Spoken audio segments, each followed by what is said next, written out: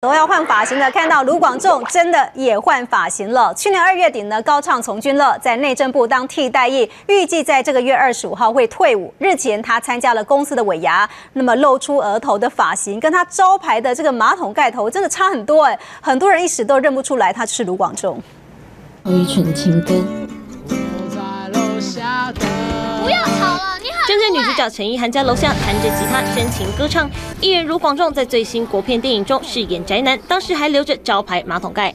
下面这里，同样戴着黑框眼镜，去年二月卢广仲理平头，原来是入伍担任内政部替代役，招牌马桶盖不见了，让他首度在镜头前面露额头。当时他还一度觉得没有刘海很没有安全感。社会工作我觉得还蛮蛮酷的，可以看到可能之前生活遇遇不到的事件，还有人。十一个月过去，日前参加公司尾牙，卢广仲平头长长了，现在梳起刘海变成西装头，还露出额头，差点让人认不出来。一个便当，长高楼的